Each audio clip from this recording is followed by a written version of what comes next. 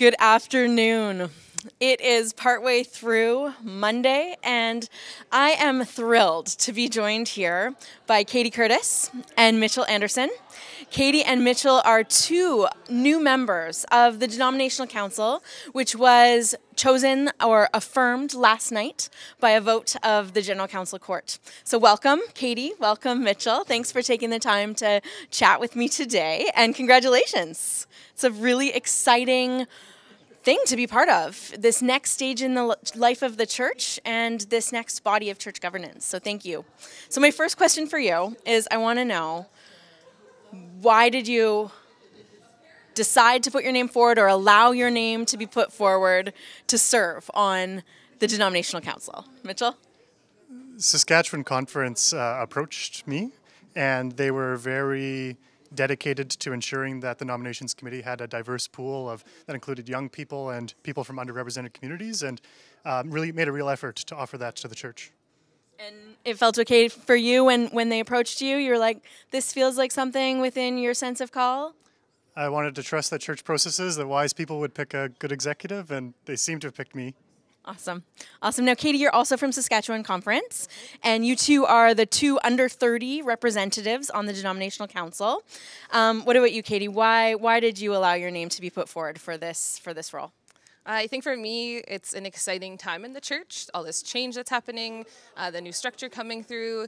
And so I was looking for ways to uh, be part of the church other than youth ministry, which is usually what I've been part of. And this just seemed like a good opportunity to branch out, to be part of the exciting change that's happening, and to offer those skills and talents to the executive.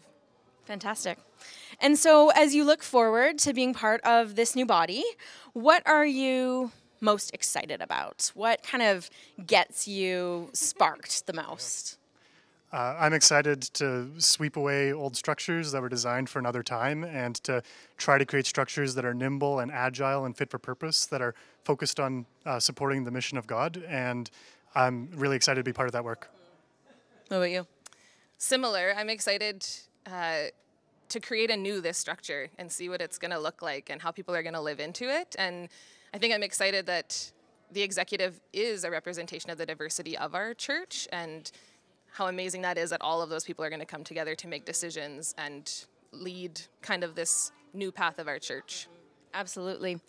And in terms of not only your hopes for the denominational council, but what about your hopes for the church? What, as we enter into this new phase in our life, although, you know, as many have commented throughout our gathering, the, even the past few days, it's a space that God is already working. God is already at work. So, you know, it's it's our call to just continue to live into it. And as we do that, what are you most hopeful about for the future of the United Church of Canada?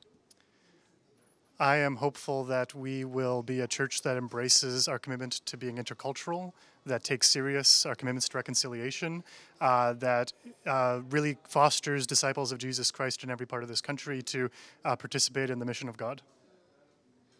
And Katie? Ditto.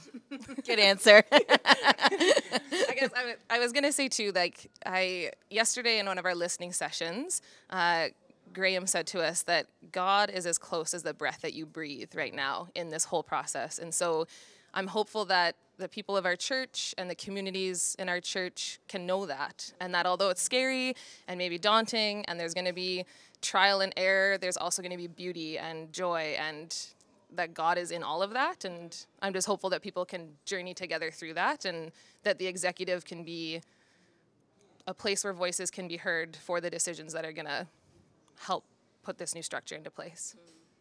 Fantastic. Well, I'm thrilled that both of you have allowed your names to stand for this really exciting, really important role of leadership in the future of the church. So thank you.